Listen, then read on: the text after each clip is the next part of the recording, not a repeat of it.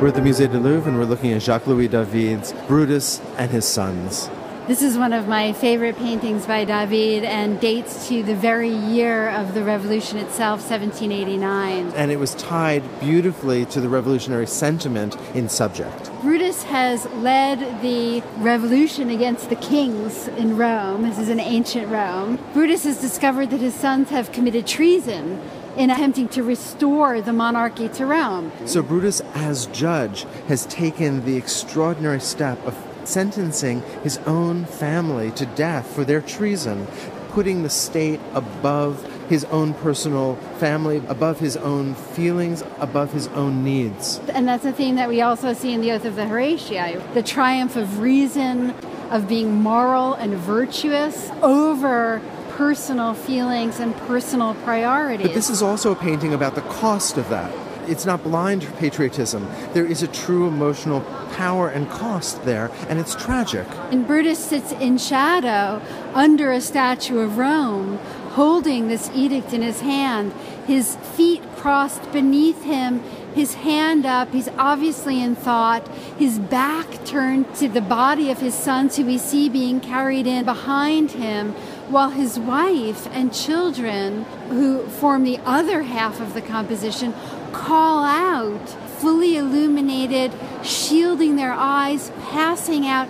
They can't believe what Brutus has done. Brutus is quiet, he's calm, he's resigned, even if it, there is a kind of deep tragedy there. The women on the other side and the children have given in to their emotions. In many ways, this fits in with ideas that were around during the revolution that only men really had the capability of sacrificing for the state, of being true citizens because only men could rise above their emotions and their personal concerns to think about these greater goods. That stoicism seems to be echoed in the very architecture of this space. We have a fairly complex classical environment Doric columns, the most pared down, and in a sense, the truest of Greek architecture. But then that's softened, especially in the sphere of the women, in that that's draped with cloth, the softer material. This is a painting that's clearly informed by David's research into classical architecture, into classical furnishings.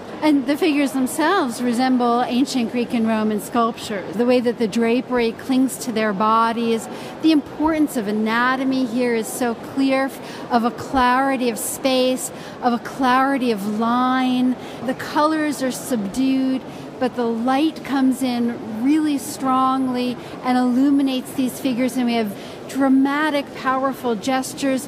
And you're right, this is sacrifice and virtue, but simultaneously the terrible emotional cost of that, not just for Brutus's family, but for Brutus too. And it's fascinating to me that this painting was made the very year of the revolution because it seems to speak to the virtues that were required for the revolution.